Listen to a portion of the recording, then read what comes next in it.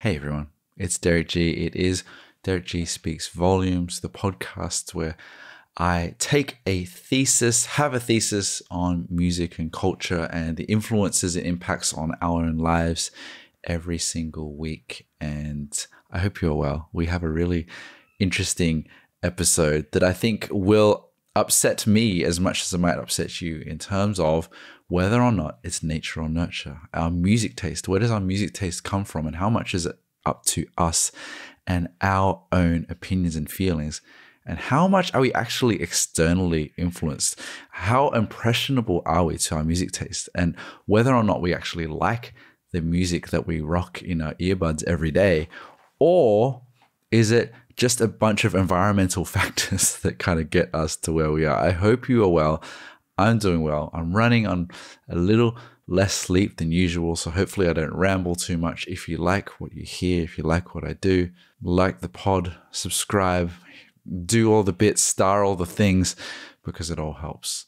And it, I appreciate it very much. So, why am I exploring this? I've been thinking about this a bit recently about we all have our eclectic music taste. We all tend to say that we like everything, but it goes without saying that there are so many environmental factors that go into our music taste that we probably don't think about. That I wanted to explore nine, count them, one, two, three, four, five, six, seven, eight, nine different factors that go into our music taste and influences that we probably don't think or attribute to that often. Some of you, them you, you will, some of them you won't. Now, before I get into the top nine, it, this doesn't mean that having influences and being impressionable over music is a bad thing. It's totally uh, normal.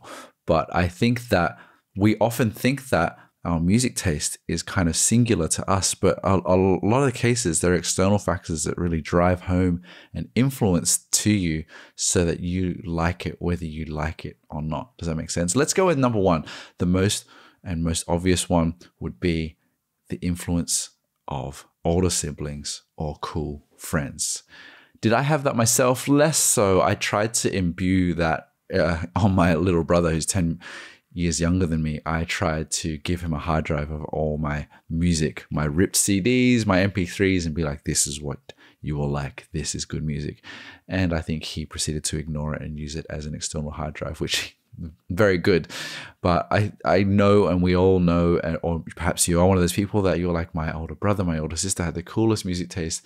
And I just listened to what they listened to because I thought they were cool. I did have an uncle, I do have an uncle that listened to alternative music. And he is 10 years older than me. And he was definitely someone where I was like, damn, he knows things I don't. He's cool, and he he even introduced me to a group called Regurgitator, which is uh, an Australian, uh, I guess, alternative rock band from the '90s that I definitely was into for a huge amount of time because of him. Looking back, you know, they have their high and low points, more low points than high points, but I definitely was obsessed with them because of him. And then cool friends. There was a guy when my parents had a cafe that they my parents hired who came from New York and introduced me to hip hop and I just loved it because he introduced me to it. He burned some CDs for me of Diggable Planets, Tribe Called Quest, Deltron 3030, maybe one more. And it didn't matter what he put on there. I was like, I want to like this because this guy is like what I hope to be one day. He had a hot girlfriend. He wore like a grandpa cap in a really cool way.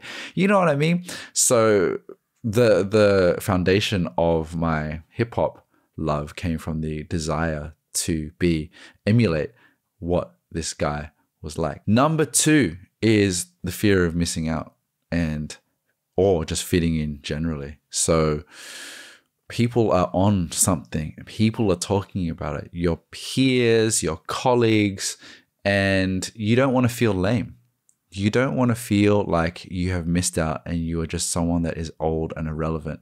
So you start to go to these gigs with them, you start to go to parties, you start to club with them.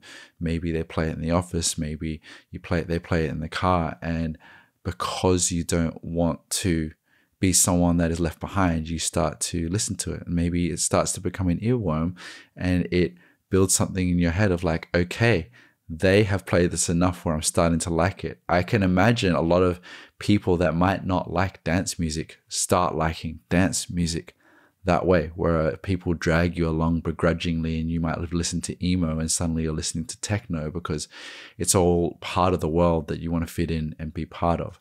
I need to say, and I need to say it again, this is none of this is bad, but obviously is an external influence that kind of forces you into an environment which is which is combining things like you know, alcohol or illicit drug consumption, as well as partying, as well as good times, as well as friendships, which makes you like it even more. The third external influence in the nurture or nature of music is cultural signifiers, which are huge because often this is people that provide context, people that give a stamp of approval that is good, whether it's a celebrity, whether it is endorsement from a radio station whether it is another artist.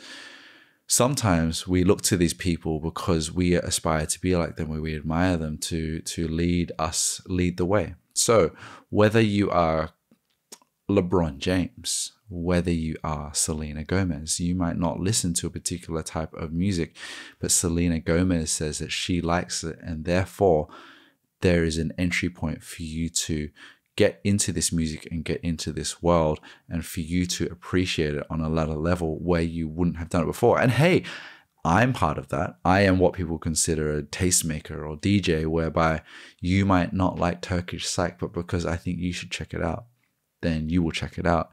And because you know that I like it, your brain is more open minded to liking that music as well. I think I have gone down an impressionable path before where there has been an artist who has recommended music, and I think I've listened to it and I've liked it and I've decided I've liked it. I've listened to it and play, I've added it to playlists, and then thought about it some more.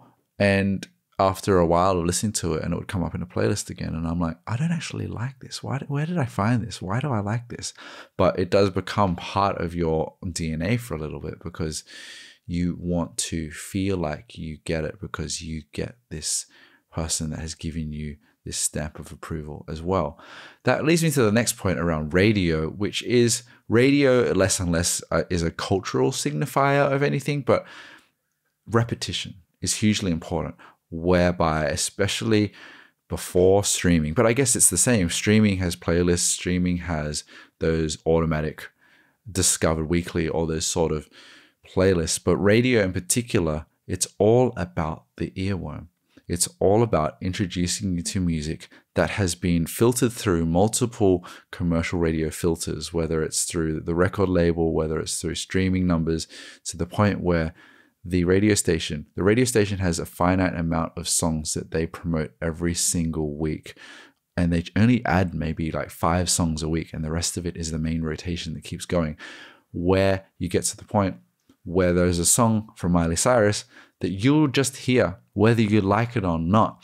And Flowers, you hear it for the first time and you probably thought it was unremarkable. You hear it for the hundredth time, you're singing along with it, and you know every part of it, and it's your favorite song of the year.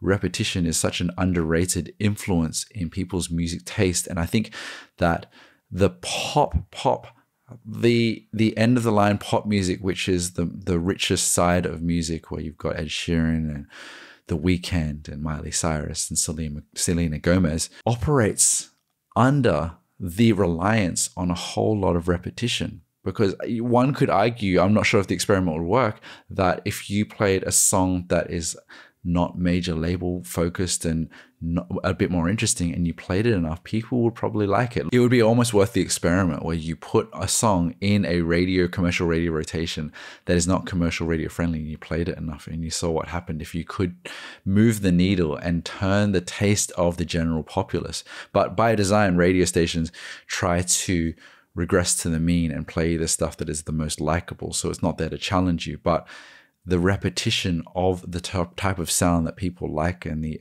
friendly things to their ears means that you have what people call mainstream music that people generally hate.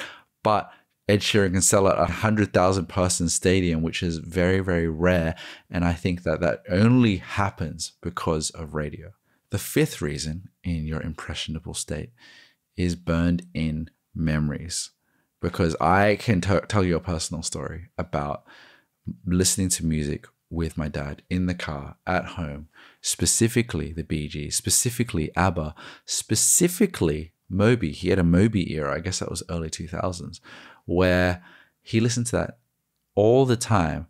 And I went through a phase in my rebellious phase when I was in my teens where I hated that stuff, but now I love it because it means more to me than just the music itself. If I hadn't experienced the Bee Gees at all, I don't know if I would have been into the Bee Gees. But now, certain Bee Gees just gives me a feeling that is beyond the music itself. And thank you, Dad, for for that influence. But it goes to show that sometimes people associate the music that they love to a time in their life and whether they like it or not is less to do with their taste and less to do with whether they will listen to it on the day to day but because it is relevant to an era that was significant to them that they want to relive in their head. It's like moby. I don't know if i like moby but i can put it on and i'm experiencing 20 plus years of my life in one go and that can only be a good thing. But if my dad hadn't bled play from the car speakers, then I highly doubt I would be a Moby fan. Speaking of burned in memories, I think that other techniques to do that are uh, blends or remixes. You see DJs who might blend together a hook from an Ice Spice song with a techno song, and that you might not listen to Ice Spice, but then when you hear it at the club under over the top of a techno song, you might go, hold on, what is this? I like this. And it kind of brings you to this level where I would never listen to pop music, but Ice Spice is playing and I'm in a club in Berlin and this is crazy and, and gives you, or, or I guess recontextualizes a song that you would never experience to the point where you can enjoy it in another setting and then that takes you back to that song and you want to relive that memory by enjoying the song that you wouldn't have been introduced to in the first place. Similarly, Songs might represent a certain movement, a certain time, whether it's political, whether it's a protest, whether it's American Idol, and you love revisiting that time because it represented who you were and what you were at that time. And that was the song that signified that time. This next one's fairly obvious and fairly fun, which is you are influenced by rebellion as a form of motivator for your music taste. So look at the best example of this if you're a goth, if you are a punk, if you are into hardcore, if you are into metal, if you are into industrial. Usually, generalizing, but usually these types of people like stuff that is more subversive, darker, harder to understand, and you are in society maybe someone that is a bit left of center and a bit more of an outcast and you want to find your own crowd that doesn't listen to the mainstream. So that end you end up finding identifying music that is darker more subversive more unusual. And do you therefore like that music or does the music define who you are at that point? Because sure we've all been through it. We have those emo phases in life where the you know, in my era, it was probably Linkin Park and such, where that's not by any means subversive, but it was like pop subversive, where if you weren't into the happy Britney Spears side of thing, you're into Linkin Park because you don't understand who I am and I feel so numb and that music is there for them. That is what music is designed for. Not everyone is so impressionable. I can't be so cynical to say that you can't like that music because you're only liking it because you want to be a rebel, but it's designed to capture people that are looking to be heard. And that voice is not there in Britney Spears and NSYNC. It is there because someone is screaming to the mic, Chester Bennington, saying that you feel so numb I think like anything where you're impressionable around a particular movement of sound because of the psyche of who you are at the time and you don't develop any other styles or taste of music can make you quite narrow in your taste and point of view because I know for myself, I had an aversion to pop music because I wanted to be alternative. I wanted to be different. And therefore, I didn't like or poo pooed anything that was considered mainstream. And therefore, uh, turned my nose up to things that I would look back on now and kind of missed because I didn't want to give it the time of day because I thought it was lame and I thought it was basic and I thought it was cookie cutter and is restrictive and elitist in its own way. Interrupting the podcast to introduce the sponsor for this week. Turntablelab.com is the website, is the partner if you know anything about them, if you're an audio enthusiast or a beginner and you need anything regarding hi fi, whether it's speakers, cables, weights for your turntables, platters, slip mats, that's all there for the taking. And then they also have the lab, which is their vinyl store as well, where they have over 100,000 records. So you can go there once you've picked up all your hi fi needs to pick up some records. Four or more deal, buy four or more records, get 10% off. Even better, right? And you can take those discounts all the way to pay for your postage and all that. So if you want to check out more, turntablelab.com, or you can go to turntablelab.com forward slash Derrick for my selections of things that I like on the website as well. That is the sponsor. Back to the episode.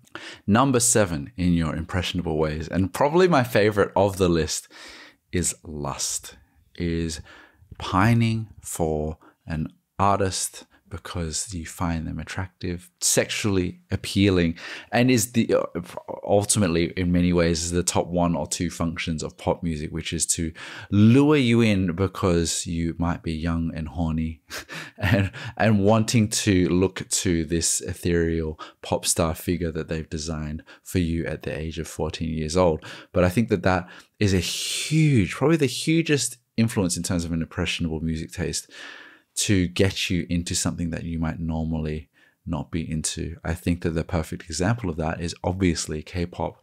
Everyone is super attractive. Some, not all, have plastic surgery.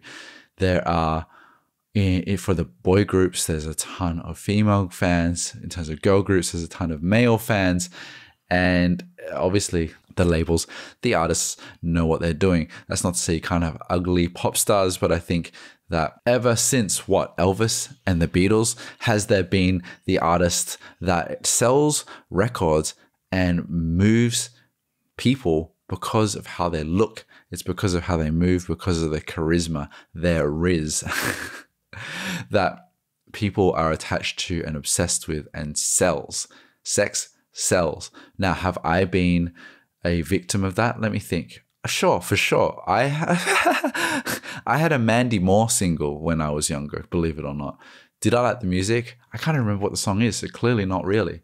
But it was about the fact that it was Mandy Moore. J Lo, for sure.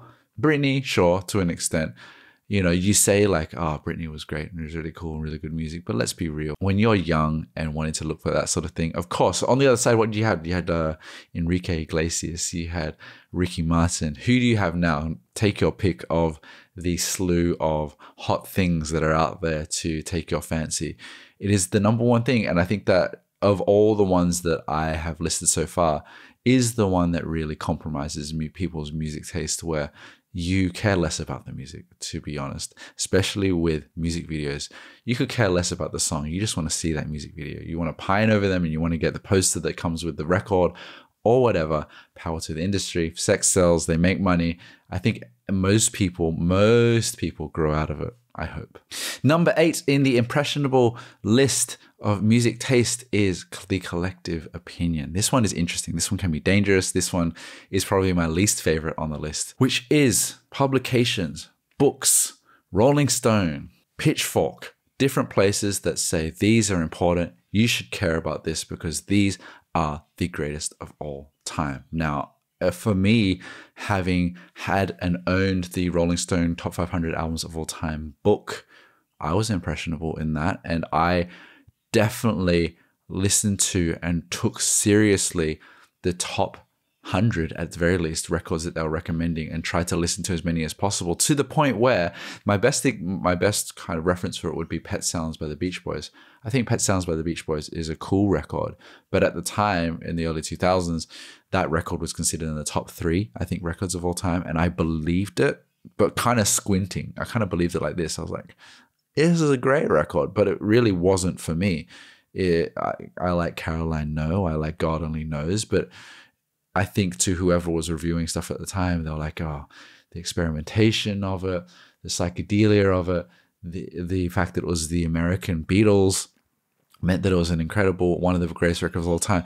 I don't like that record really. I have to say, looking back, it's fine. It's fine, but I I needed to like it and I had to like it because the consensus at my impressionable young age was that it was the the the greatest one of the greatest albums of all time, right? So that's where I was left with a uh, series of lists that I had no idea how to filter my own opinion through because I didn't have enough of a formed opinion around. Some people identify all of their music taste around those lists and stick by them, and you'll see things like, well, of course, Kendrick Lamar's whatever album is the best of all time because everyone says so. And it's like, but who cares? And maybe your favorite album of his is the one that everyone else hates and that favorite is different to best, and best is not even a fact, it's just subjective. But I think that this can scare a lot of people away in their opinions or turn this hive mind of people that are firmly convinced that my beautiful dark twisted fantasy is the greatest Kanye West record with no other debate because it has to be. Of course it is because everyone agrees that it is. The last in the list, the ninth in the list of impressionable music influences would be stories, which I think is a nice one. It's a nicer, more warm hearted influence, which is stories that you come across where you relate to the plight, the journey of the artist to get where they are. For instance, these aren't the best examples because they're quite obscure. There was an artist called Lewis which was an artist. I can't remember where he's from, but basically someone found his record and he was some like almost ghostly artist that no one could find anything about except for this album that he was it was this white cover and he was like he almost looked like a Ken doll. It was really ethereal and had music that was really ethereal. And he represented this mystery person that was elusive that you could not really fathom where they're from and turns this record into more of a mythological experience for anyone that might come across this record. So, therefore, you are more bound to the story of Lewis than perhaps you are in favor of the music. Similarly, with Donny and Joe Emerson, the story of brothers who put out a record and the parents took out a loan in order for him to put out his record in the 70s or early 80s, I want to say, fell into obscurity because no one cared about it. And then someone discovered the song Baby in the early 2010s. And now they are finding their way. And I think a lot of people are inspired by their story and inspired by their sound. Now, who trades off this the most? I would say America's Got Talent and places like that, where the story is so much more important than the music. Say in Britain's Got Talent, you've got Susan Boyle. What do you really care about there? You care about this unassuming lady that is a bit strange that comes on stage and has an operatic voice that just blows everyone away. The visual appeal of a story, a feel good story, means that the Susan Boyle CDs are in every thrift store around the world because everyone of a certain age bought a Susan Boyle CD because they just loved the story, loved her journey, and wanted to support her. And she made so much money. Well, I don't know if she did or her, whoever was behind her did. And the storytelling narrative of Susan Boyle can really, really push someone with music that wasn't great. I dreamed a dream to astronomical standards where I don't know the statistic behind it, but I gather that Susan Boyle probably has a very, very high selling album in comparison to music history. It's one of those things where when kids will look back at music history and see Susan Boyle's name there somehow, that they will go, How did that happen? How did music like this of a perhaps 55 year old woman from the UK get to the top of the charts and sell hundreds of thousands of records? Because of the story, it's because of the relatability and because people just feel good from it. And we kind of push aside other things like, do I like this? And do I enjoy it? And do I want to listen to it often? I'd love to hear your stories in the comments, wherever you are, about something that has impressed upon you that maybe you completely hate, or something that's unexpected that you didn't expect to like that you really love now because something in your life experience really impressed it upon you. And I don't mean that in a bad way. Maybe you just find it entertaining and funny that you would never have been in this world, but maybe your partner liked this thing and you went to a gig. Maybe you fell in love with the story of Susan Boyle. Maybe you like Moby like me. Maybe you just wanted to fit in with the cool crowd and like really weird music. Maybe you don't like really weird weird music because you were listening to the radio and it was all earworms. But I'm intrigued. I think that as much as we hold tight the influences that we have of music in our lives, so many factors go into why we like something. And I think that we it would be foolish for us to think that our thought processes are totally original. I think at the end of the day, most of the dust settles and the stuff that sticks around is the stuff that we actually like. And we tend to brush off the things that we are obsessed with because we lusted over an artist or because the cool person said we liked it. And we find our identity within it all. This has been a little fun exploration and has kind of been revealing to me about just how much I, my music taste is being influenced by so much that I don't think I even realized. I'd love to hear your thoughts. So please let me know. And that ends the podcast for this week. Do I have an appendix for this week? As I'm recording this, I have this is my first recording back since being on holidays and need to go back in the flow. And I don't have many podcasts lined up. I did have a backlog of three maximum four at some points. And now I'm kind of going week to week. So I've got to get that back up. I've got to start organizing more interviews with people. But for the time being, I've got a lot on my plate, as you know, but I enjoy it very much. And it was good to have a holiday and be back amongst it and reflect on life and how I feel about how I'm prioritizing things. It's kind of boring, but that's the truth. Anyway, I hope you are well. Thank you for listening to the podcast, and I'll see you on the next one.